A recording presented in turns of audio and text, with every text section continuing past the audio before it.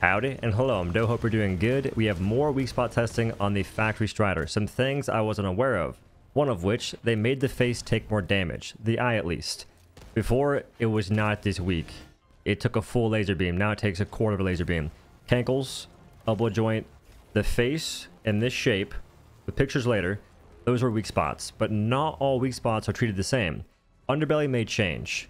Two anti-tanks blow out the side and the top vents, making them weak as well and sometimes they're weak enough to be penetrated by medium armor pin, such as all the center mass spots are when exposed.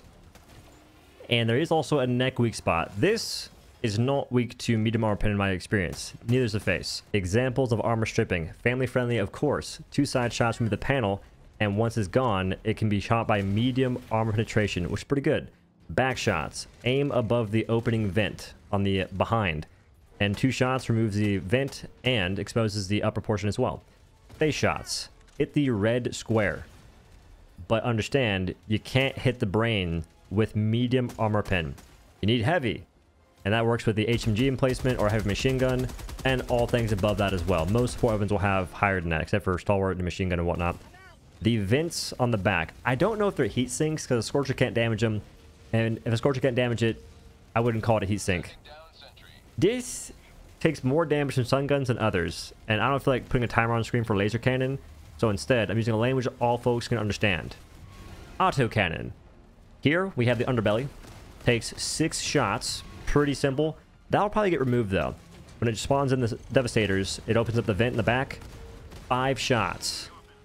I think. I may have miscounted that. Eye shot. Eyeball, whatever it is. I'm being very careful to make sure I lend the shot so I don't get miscalculations. Six. For the side panel, it's four. Brain. Six. Then the back upper panel, if removed, would be five. Pretty freaking good so far. And the cankles. This is where it takes a turn for the worst.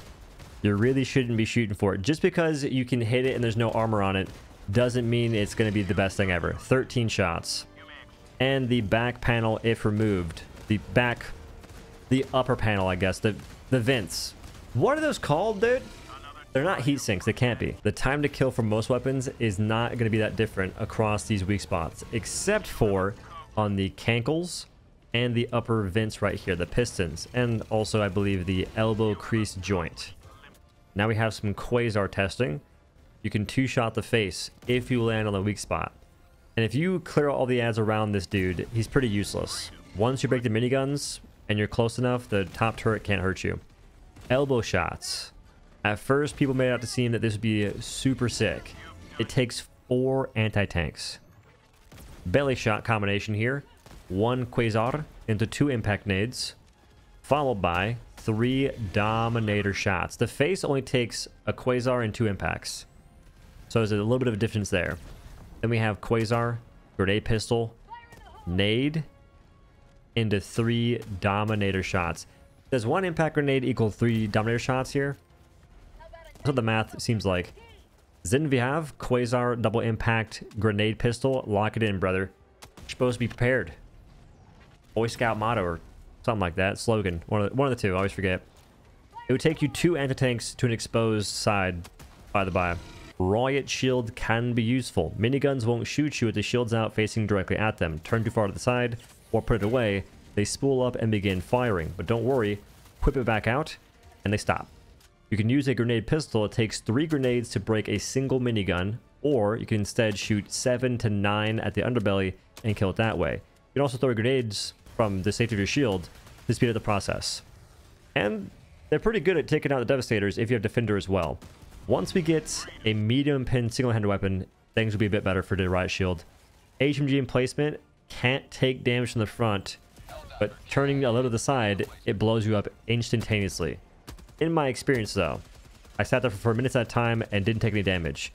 The miniguns are broken in a few shots from the HMG, and you can then shoot the underbelly if you're close enough, which would be ideal. If you can't get the angle, in this case I can't see, go for the eyeball.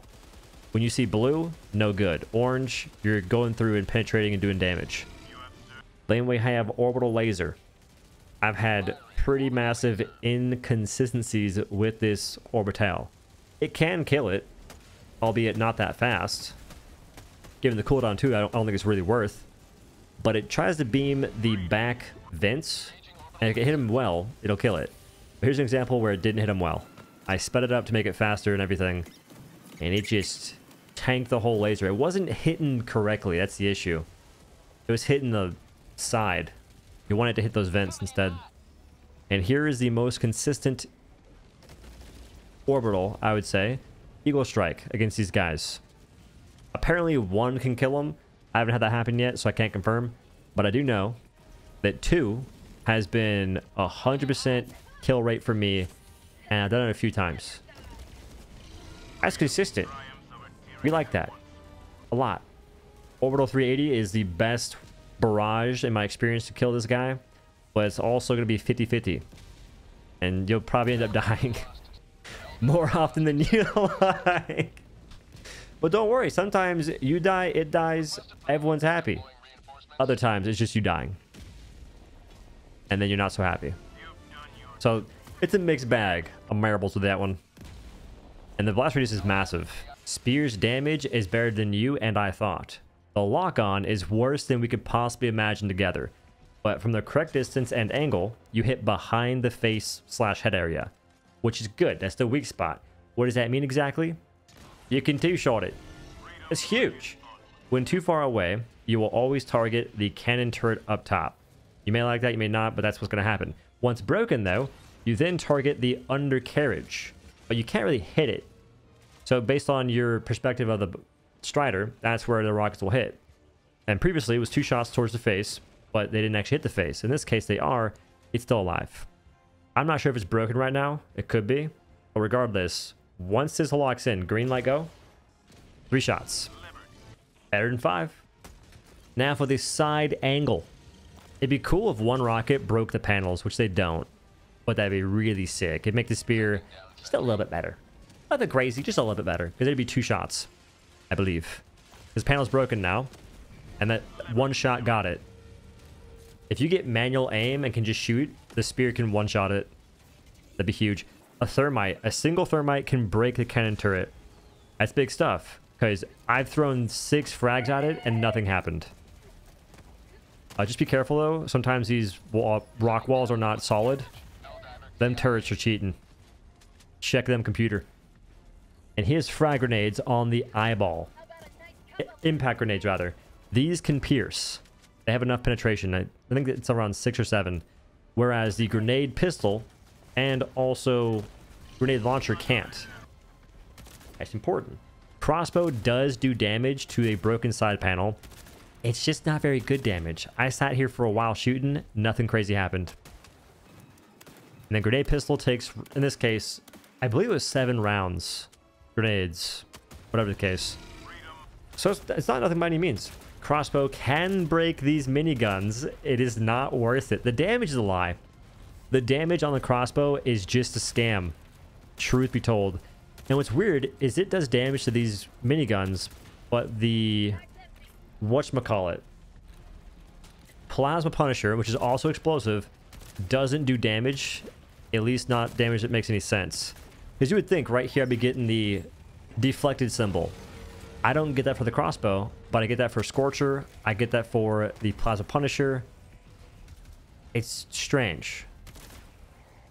There's a little bit more to armor penetration than I'm aware of.